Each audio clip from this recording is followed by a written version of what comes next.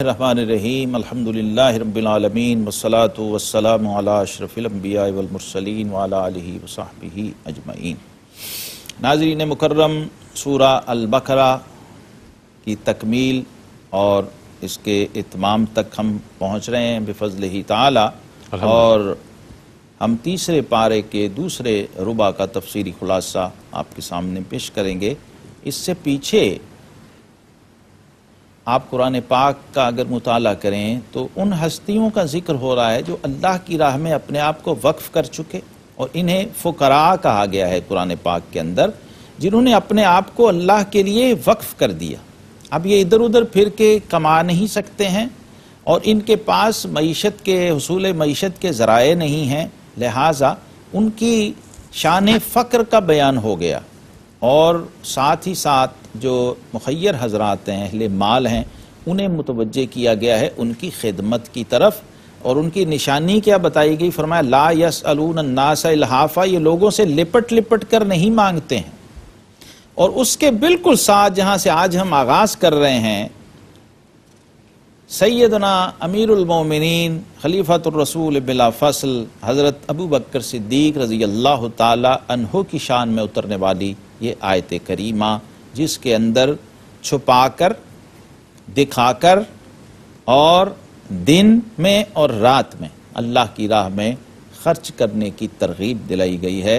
और जनाब सिद्दीक अकबर रज़ी अल्लाह तहो के अमल को सराहा गया और उस पर बशारत सुनाई गई है कि वो जो अपने माल खैरात करते हैं रात में और दिन में छुपे और ज़ाहिर। जनाब सैद अबू बकर सिद्दीक रज़ी अल्लाह तहो आपकी शान सखा तो वैसे ही मशहूर व मरूफ है। और आका करीम सलाम ने फरमाया कि मुझ पर अपनी माल से, अपने माल से और अपनी खिदमत से अबू बकर सिद्दीक से बढ़कर किसी और ने एहसान नहीं किए हैं।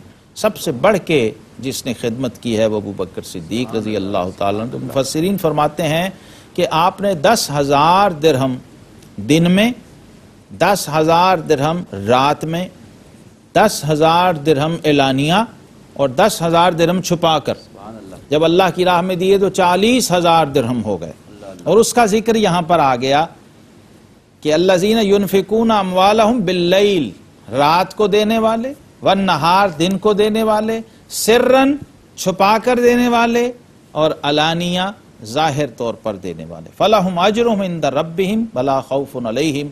वलाहम यह जनून इसमें सारे पहलू बयान हो गए कि जो अल्लाह की राह में खर्च करना चाहे जब फ़र्ज़ मामला हो तो दिखा कर करे और जब नफल का मामला हो तो छुपा कर करे। सुबह बहुत ही सादा और बहुत ही मुख्तसर अंदाज से इसको इसी तरह से अर्ज़ किया जा सकता है कि मुफसरीन ने अहल इल्म ने इसको इस तरह से तकसीम कर दिया और जनाब सिद्दीक अकबर रज़ी अल्लाह का वो तरीक भी बता दिया कि इस्लाम में दोनों की इजाज़त है।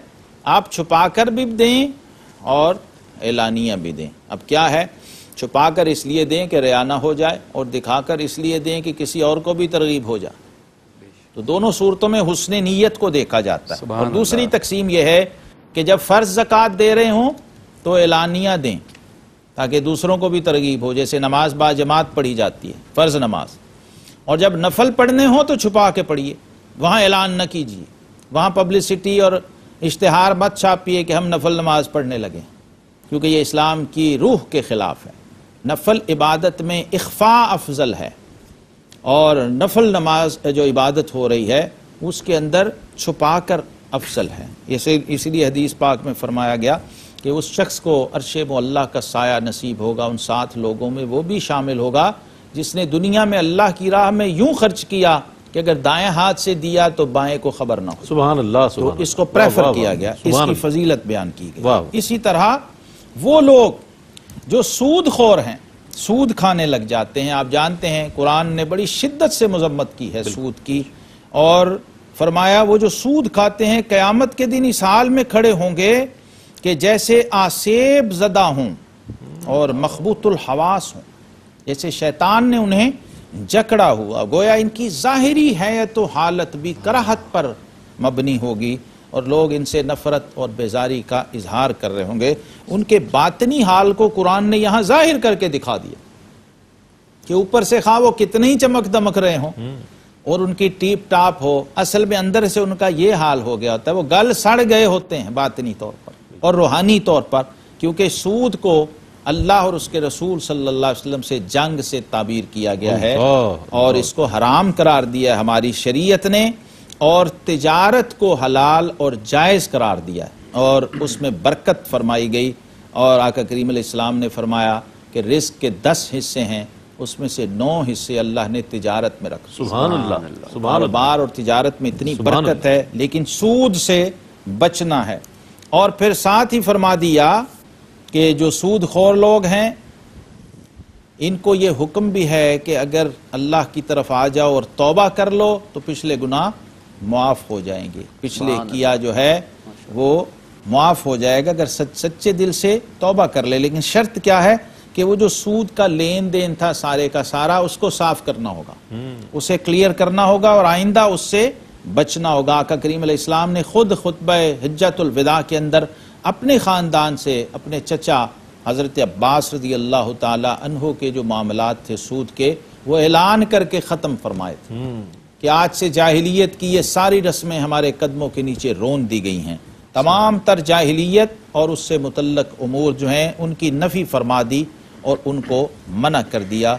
आयमा ने लिखा है कि अगर सूद को कोई गुनाह समझ कर करे तो गुनाहगार होगा लेकिन अगर सूद को जायज़ और हलाल समझेगा तो काफिर हो जाए। दायरा ईमान से खारिज हो गया क्योंकि ये कुरान की नस का इनकार है। इसलिए ये बहुत बारीक फ़र्क है कि जब आप गुनाह कर रहे हो तो गुनाह को गुनाह समझना बहुत ज़रूरी है। अगर आपने उसे जायज़ समझ के किया तो अब आप गुनाहगार नहीं हैं बल्कि ईमान से माजल्ला माजल्ला, सुम्मा, माजल्ला, हाथ धो बैठेंगे। ये बहुत बारीक चीज़ है, इसे बहुत समझने की ज़रूरत है। और फिर आखिरी आयात, खवातीम सूरत बकरा। फरमाया, ये वो सूरत वो आयात हैं आमन रसूल से लेकर फनसुर नालकौमिल काफरीन तक। ये दुआ की महराज हैं।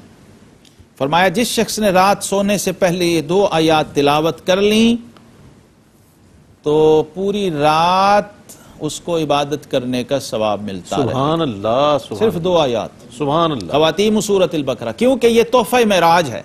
वाह वाह वाह। ये मराज की रात खसूसी तौर पर सूर्य बकरा में बाद में ऐड की गई थी। अल्लाह आका करीम सलाम को अल्लाह की तरफ़ से ये तोहफा ख़ास अता हुआ है इसलिए इसको मुस्तकिल अपना मामूल बनाना और ख़ास तौर पर रात सोने से पहले इसकी तिलावत कर लेना नहायत बायस बरकत है।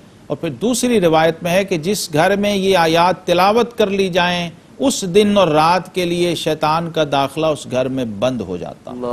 और शहर और जादू वगैरह के हवाले से भी ये मुजर्रब है। नाजरीन मुकरम सूरा अल बकरा यहाँ तकमील पजीर है और यहाँ सुन्नत है।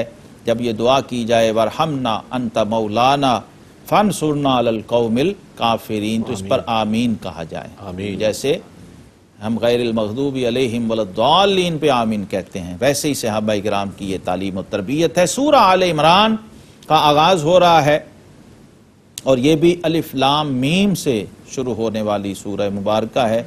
अलिफ्लाम मीम आप जानते हैं हरूफ मुक़त्तात में से है और अल्लाहल्लाम यहाँ भी वही अल्फाज ताकि हमें इसकी शान और अज़मत का अंदाज़ा हो जाए कि अल्लाह का मबूद होना और उसके सिवा किसी का मबूद न होना और उसका हई और कयूम होना उसकी तरफ़ हमें मुतवजह किया गया है। ये अल्लाह की सिफात ज़ातिया में से है कि हयात हकीकी माना में उसी की है और जहाँ जहाँ हयात है उसकी अता से है। हम्म, बेशक, और बाकी जो अल्लाह के सिवा जो कोई भी मासिव अल्लाह है उसका कयाम मशरूत है और मुनहसर है ज़ात बारी ताला के कयूम होने पर।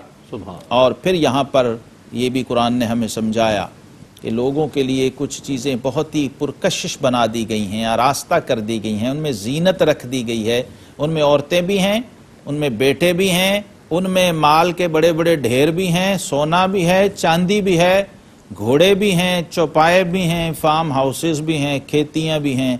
लेकिन फरमाया ये सब दुनिया की पूंजी है और अल्लाह है जिसके पास अच्छा ठिकाना है। यानी बता दिया गया कि कुल्लुमन अलैहा फान वयब का वजह रब्बी का जुल जलाल वल इकराम। ये है तो फितरी मोहब्बत लेकिन मुतवजह कर दिया कुरान ने कि ऐसा ना हो कि कहीं तुम्हारे दिलों में ये चीज़ें रच जाएँ और जो इनका खालिक व मालिक है उसकी तरफ़ से तुम्हारा ध्यान हट जाए। असल में हकीकत बताई है हमें कुरान ने इस दुनिया की जिसके अंदर हम रह रहे हैं और इसके रिश्तों की कि बाहर सूरत ये फ़ानी हैं। जितने भी ताल्लुकात, जितने अलायक और जितने रिश्ते और जितनी भी पुरकशिश चीज़ें हैं, ये आर्जी हैं, वक्ती है। वाला दारुल आखिरत खैर व अब का हकीकी ठिकाना और हमेशा बाकी रहने वाला ठिकाना मोमिन के लिए वो जन्नत है।